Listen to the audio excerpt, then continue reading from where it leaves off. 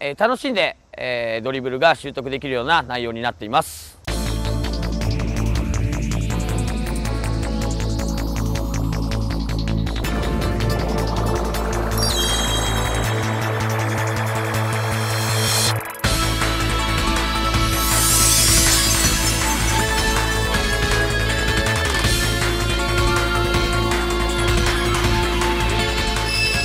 横縦横縦横スローインから来て1回クッション置いてキャッチして頭越えでかわしていく。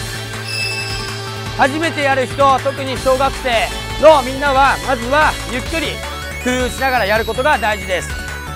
小学生でボールを馴染むというところでダブルタッチのところで1つボールをしっかり横に滑らす。小学生は1つここのゆっくりボールを転がせばしっかりと体はついてくる。下げるのも少し斜め後ろに下げてパワーを作ってあげましょう。インサイドで出せるパワーを作って。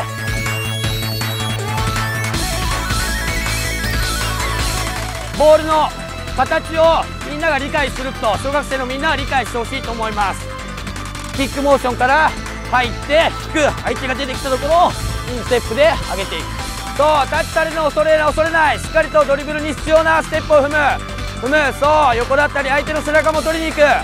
エラストも自然とついてくると思います。どんどんどんどん上達していくと思うので、えー、チャレンジしてみてやってください。